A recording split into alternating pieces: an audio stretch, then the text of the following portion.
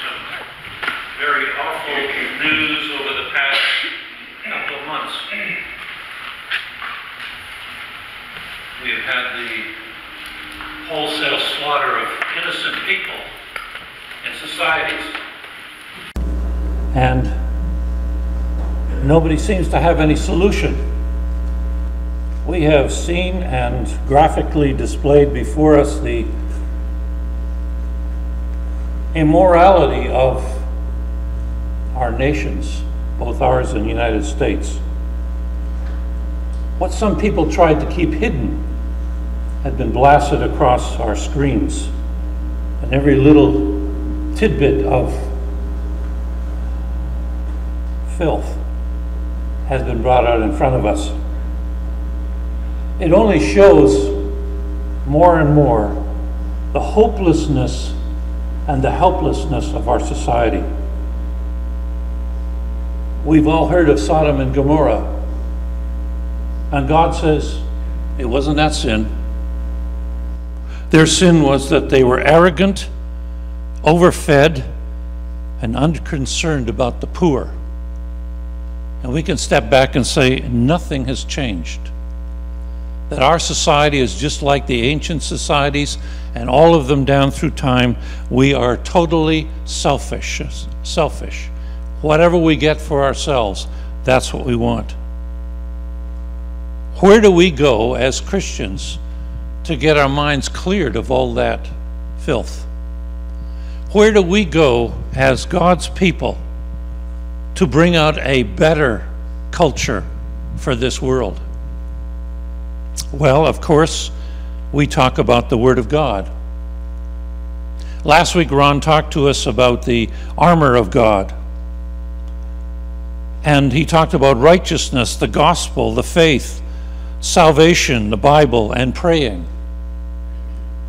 And as we as a church put these on, as we have them as the foundation of our faith, the foundation of all the practice in this local church, then God will be pleased.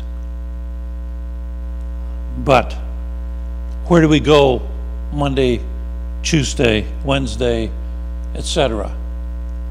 Where do we go? How do we get our minds set upon God? Well, Psalm 145 would give us an idea. In fact, it gives us the secret to it. Let's read these scriptures together, and because you've been sitting down so long, let's stand up, shall we?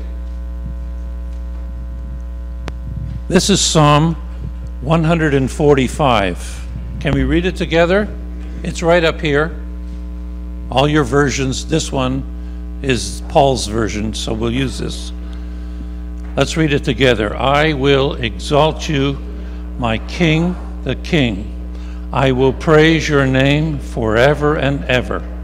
Every day I will praise you and extol your name forever and ever. My mouth will speak in praise of the Lord. Let every creature praise his holy name forever and ever. Thank you. You may be seated. David wrote this psalm, and when the compilers of the book of Psalms put it together, this was the last psalm uh, that David had written. And sometimes we send off love letters or pen the silly things to one another, and we hardly even know what we're writing down about. But David put that in a poem and an acrostic poem so that the first verse starts with the letter A, and then B and C and D, all the way through in the Hebrew alphabet. And the whole thing is about praising God, lifting up our voices and praising the Almighty. In verse 1, it says, I will exalt you, my King, uh, my God, the King. I will praise your name forever and ever. Sometimes we just get overcome with the joy of the Lord. Uh, even Scottish people do sometimes. And we are filled with God's blessing and love. And we're just we something has come to us. We've read the scriptures or somebody has said something to us and it just explodes in our presence. And we say hallelujah. That's what the word praise means at the beginning. But then we get down to verse 10 you have made what you all you have made will praise you o lord. Your saints will extol you. That's another hebrew word called yada that's deliberate praise that's get up in the morning, whether you feel like it or not, whatever the night before was like, and praise Him, because that's what we should be doing. Yada, I'm going to praise God. Praise, we get our English word price from it. What price will I pay for something? Well, what worth is it? What is it worth to me? Whatever it might be the car, uh, the breakfast that you go out and, and have. What is the price? A painting, Leonardo's painting, uh, sold this week. Not the actor, the, the real Leonardo, okay? $450 million. you know what?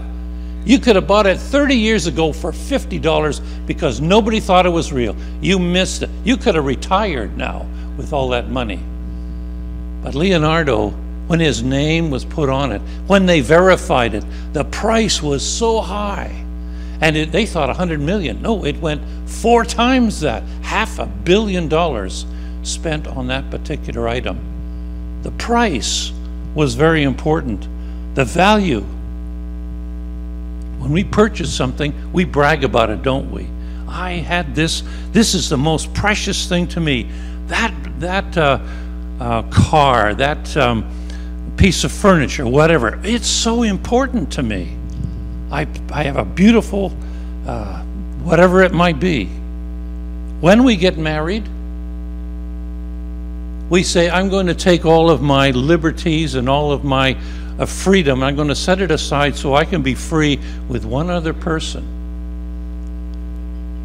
What do you do with that person?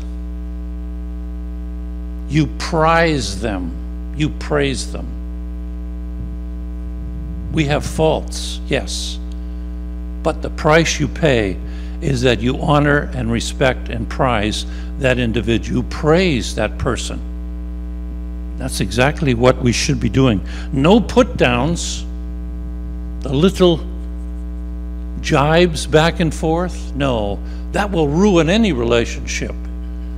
And so we prize that individual, the one that's precious to us. We prize God. We praise Him. We value Him. Imagine the disciples? They had such an emotional ride. They come into Jerusalem with Jesus. They're, they're up there. Everybody's cheering Jesus. Oh, we, we're going to set up the kingdom. Five days later, they crucify him. Could you imagine the emotion as, as they crucified Jesus, as they put him on the cross, as he died? They couldn't understand it. They all left. And then three days later, he's alive. No, he's not alive. Yes, he is. And he appears before them. The euphoria. And then while he's talking to them, he says, I'm going to leave you. What? You just got back. No, I'm going to leave you so someone better suited for it will be the one who comes. He'll be with you wherever you go, not just in one place. And then he goes back to heaven. He ascends up into heaven. What did the disciples do? Were they crushed? No, they went back into the city of Jerusalem to the temple and praised God. He's not there. He was he was here, he's gone back. Why did they praise him? Because they praised who he is. All of his attributes, his qualities. He they praised him for that. You're alive forevermore. You've taken away our sins. And so they could just got overjoyed and they praised God. Peter, I want you to go down to a home of a Gentile. I've never done that before. Doesn't matter, I want you to go there. He goes there and he begins to preach. And he tells them about Jesus. He tells them things like this Believe on the Lord Jesus Christ, thou shalt be saved. It'll be all into God's kingdom. Then what happens? While he's preaching, the Holy Spirit comes on and they get saved. They're jumping around. I, I guess the Holy Spirit isn't here this morning, but well, they're jumping around. They're so excited that God has saved them. And what do they do? They speak in other tongues, other languages, and then what do they do? They praise God. My sins are gone. Oh, how wonderful.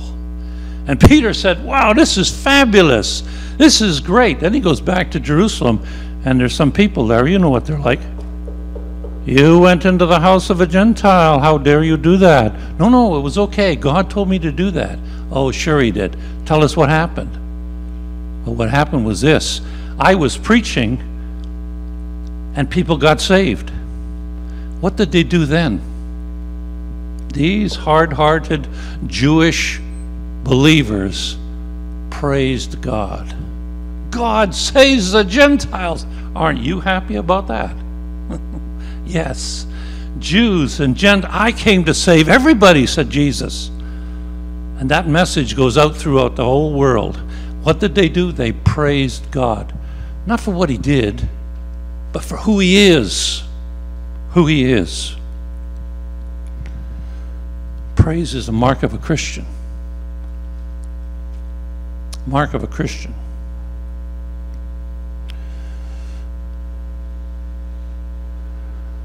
Here is the, the magnitude of, of creation. The Almighty God. Uh, Everett mentioned it, was mentioned earlier. We sang about it. The Almighty God. These are the pictures that come from the Hubble telescope, which we've never seen before. They're way out there hidden. And, and it's amazing. And all of these qualities of God, there He is. And we can praise God for all the heavens because He put them in place. Now you can stand back and say, it's Earth is the only inhabited planet in the entire universe. Wow, just think about that. In verse 5, it says, They will speak of the glorious splendor of your majesty, and I will meditate on your wonderful works, to see the magnificence of heaven. Uh, we were in Victoria a long time ago, and there's an observatory over there, and so we went one, uh, one clear night. The moon was absolutely beautiful. So we went, went around this room, and everybody said, oh, this is what we're going to look at. The whatever for wherever, it's so many million light years away, and we're going to look at that. And so we got up there. Uh, huh? It was like six or seven grains of salt on a piece of black paper. I was so impressed. The moon was out That Why did we look at the moon? They didn't look at the moon. They looked at something. I don't even know what it was. But we were impressed. The God's works. Do, or do we stand out there sometimes and say, Oh, God, what a magnificent array of stars that are out here. We all go out to the country, and one of the things is get away from the city so we can see the stars. Do we thank God for those? And to see the, the magnificence of God in creation. And, and to just understand that the millions of light years out there, God put them all in space. We talked about the moon. Everett was talking about the moon, and sometimes we see them. Did you know that in January we have a blue moon? Yes, January the 1st, the full moon, and the 31st is the full moon. It's, you know that ahead of time. And sometimes the moon is just be beautiful and brilliant out there. And, uh, oh, sorry, I got that, that's mixed up there. The magnificence. But what else do we see out there in space? Well, here's something that they found is a smiley face and it's out there somewhere. I don't know, I don't know where it is. The magnificence of God, and He just put these stars in place. The Creator God did all of that. But then we say, well, you know, I, I'm not, I don't have a telescope, I don't get out of town too much, and I look up sometimes, it's all nice. I'm not really worried about that. What about flowers? What about flowers? Georgia O'Keeffe painted many flowers. And she painted them because she says, you know, we look at them, we don't see them. We pass by. Somebody gives you even these artificial flowers, you don't even look at them. It's sort of an array of things. But do we actually look right at the flower? So she said, I, I want people to look at them. So she got these big canvases and she began to paint. And she began to paint these flowers so that people actually stop and look at them. You can do that today. You can go to a store, buy a flower, and examine it. How beautiful, how beautiful her, her works. And just to stop and see the magnitude of God. Little things. Our grandson was at the science fair this, this past week, Science World. And he came home and said, Grandpa, I, I saw the thing that's bugging you. I said, What exactly is that? Said, We watched it under a microscope. What was that? The chafer beetle. I said, Did you kill it? No, no, Grandpa, I didn't kill it. But they were saw they saw this little thing, and of course it's made so much bigger. The little things. I think it was Janu that told us years ago, before she became a Christian, she would look at the, the plants and she said, There's got to be some creator here. And God says, Yes, it's me. It's me. The Almighty God. The Almighty God. And you can say this that the Governor General is wrong. Jesus Christ did create the things of this world. It's not by chance, it's by God. In verse 4, one generation will commend your works to another. They will tell of your mighty acts. Of course. You'll pass it on. You pass on something to people. If it's your children, that's one thing. If it's your family, that's another thing. If it's your workmates or friends, you pass on what you believe.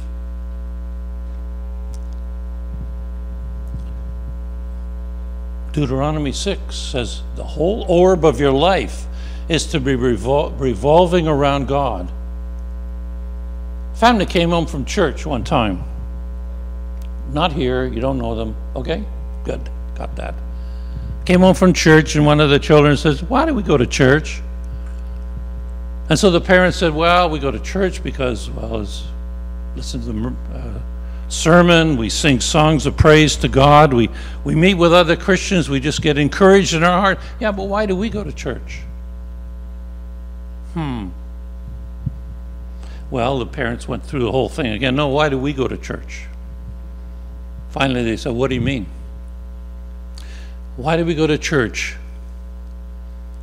when the rest of the week we do whatever we want? Hmm. And so the, church, the, the, the family stopped going to church. How tragic. How tragic. God Almighty wants to influence every part of our life. You know, youth, uh, whether it's teens, college and careers, or even younger kids, in the United States, as, as in Canada, kids get to a certain age, mid teens, whatever, they leave the church. United States, the most wonderful thing is they come back to the church. You know, in Canada, they don't. They leave the church. That's it. I'm done. Finished. I'm, I'm out of here. And, and part of the reason why they give up on Christianity and give up on church, if I want to put it that way, is this. They want to find out if church is real. Is Christ real? Does he make any difference in our life? Or is it just through the motion? Do we just come here, nice little time, then go home? Is that all it means? Or is there some reality in our faith, a growingness in our faith? that we hang on to. We praise the Almighty God because of who He is, who He is, and, and enjoy His presence every day. Ah. Shall we say this again? Yes. I will exalt you, my God the King. I will praise your name forever and ever. Every day I will praise you and extol your name forever and ever. My mouth will speak in praise of the Lord. Let every creature praise his holy name forever and ever. He's not only the Almighty God, He's the compassionate God. He, he says in the Old Testament, when, when he was discussing with Israel, he said, figuratively, I found you in a field. You had just been born. You were kicking around in your blood with all the, the clothes on you, the, the blood and all that mess. Don't go any further. I found you. And I rushed over and I cleaned you up. I cleaned you up. I made you a precious baby. What to hold a baby in our arms. And I held you close to my arms. And when you grew older and I had given to you absolutely everything, what happened? I married you. I brought you into my intimate relationship. I married you. But you wouldn't have any part of it. You ran off. You committed the ultimate adultery. You left God, and away you went. And yet, in your ruined state, I went after you and brought you back to myself again and again. And now, Israel's in a state of running away from God again. One day, finally going to bring them back to himself. We're all there, aren't we? And we have those days when we just walk away from God and say, I'm tired of it. And God searches out and brings us back to himself. He is the compassionate God. You see, verse 8, we sang about it this morning. The Lord is gracious and compassionate, slow to anger, rich in love. Boy, do I love that verse. do I love that verse? Slow to anger Boy, oh boy, compassionate. And God, He loves. He loves. And He wants us to come around Him and appreciate Him and, and to just understand His love, to praise Him for it. You know, you, uh, a week ago, you put together the shoe boxes and you showed your love to somebody you'll never see again. Maybe somebody will come here and say, You remember that shoebox? Well, I, I opened that shoebox and I found the Word of God there. I had some toys, but I accepted Jesus. Uh, we prayed over them because they're not just shoeboxes, they're, they're a, a gospel message around the world. And some people just don't get it. It was last Christmas, before Christmas, where they were recounting uh, shoe boxes being made in, I think it was Nova Scotia. And I'm thinking, this sounds suspect like the Samaritan's Purse thing. I, I wonder if it is. Well, they never said anything about it. But just at the very end, a truck drove by with Samaritan's Purse on the logo, uh, on, uh, on the uh, driver's door. And I thought, oh, why didn't they mention that? That Christians are giving of their time and of their money to send a gospel message somewhere in the world. The news media didn't get it. You got it. You got it. And, and your compassion is God's compassion.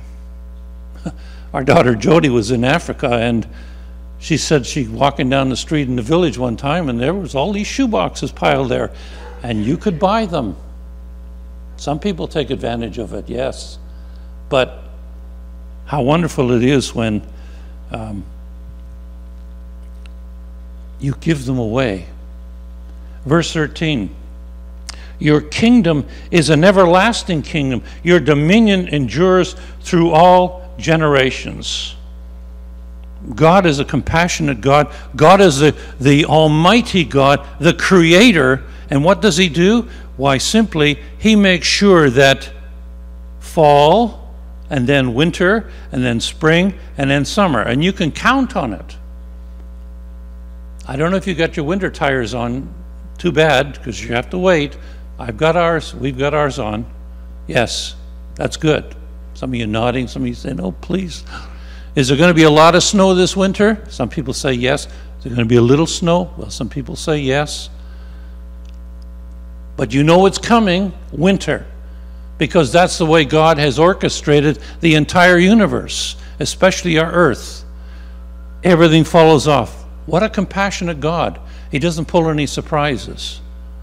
And it doesn't matter about global warming and all that. He'll take care of all that. He is the Almighty God. He's also a compassionate God and reaching down to save us. He's also, also, also the righteous God. See verse 20? The Lord watches over all who love him, but all the wicked he will destroy. Oh, how do we get those two things together? Loving some and destroying others. When I get angry, and some of you have known it, uh, I get very angry and up and down, and maybe I have to apologize. God's anger and God's wrath against sin is quite different. It's very steady. It's very steady. And He doesn't get emotionally up and down about it. He just says, This is my plan. I have offered the world this, and when they refuse, I'll deal with them. How awful is this? He watches over all who love him, but all the wicked he will destroy. And God doesn't deal with sin or, or doesn't act with sin. I do when I blow off steam, when I just get violent in my emotions. So do you. But God doesn't. It's righteous anger. His wrath is righteous. And God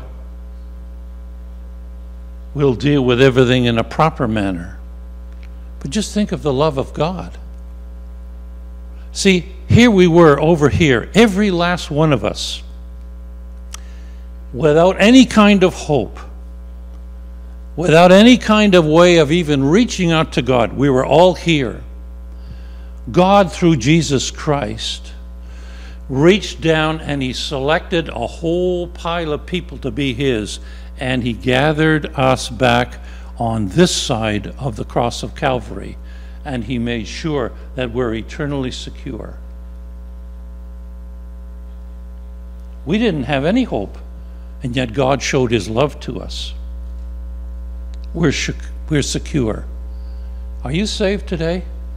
Then you can praise today. Praise God Almighty not because he saved you, but praise him for who he is. He is the Almighty God, the compassionate God, yes, and even the righteous God.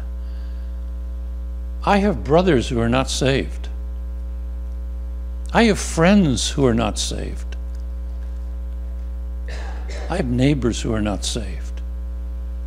And what is most important is that I care enough about them to give them the, the message of salvation.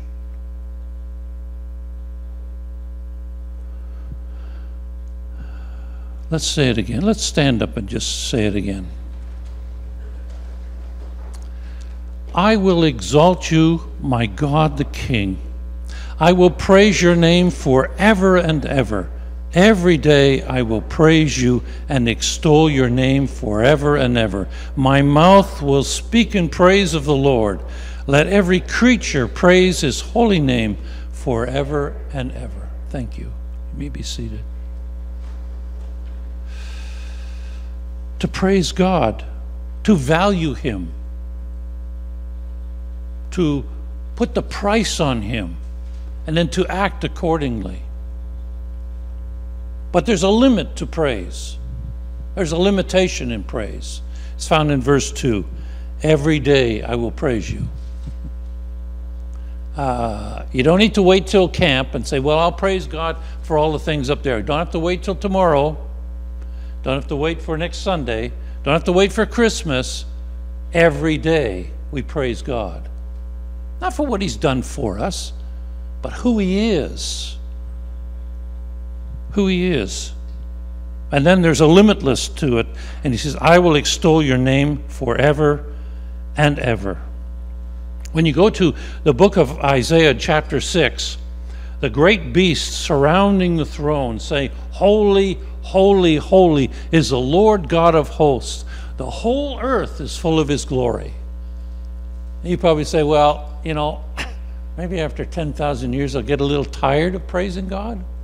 I don't think so. Because those beasts see a new depth, new quality of holiness in God and they just have to say it holy. Did you see that? Wow, that's wonderful. God is so holy. And so they praise God. And every time we see uh, the beauty of God in this world and in our lives and out of the scriptures, we should be praising Him. You know, we go to a prayer meetings, we take along our prayer sheet, prayer list. Maybe every morning you get your prayer list there.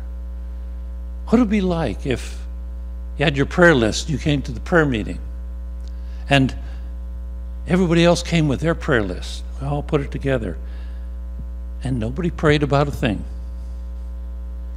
Just praised God. You know what? That'd be a good prayer meeting. Instead of just praying, these are the things we need, these are the things we want. Turn it around and just, with great joy, praise Almighty God. What is He worth? Then that indeed is what I need to give back to Him. We're going to sing a song in closing. Number 40. Number 40. Joachim Neander. 20 years old, never had a care about God in the world, got saved. Four years later, he was a choir director at a big university in Germany. they thought so much of him they fired him. You know why? Because he was too evangelical. Imagine going to a church and, and you're praising God too much. Well, he got fired from that. He wandered around in Germany for a few years and died at the age of 30. Yet he gave us this hymn. Let's stand. Let's praise Almighty God.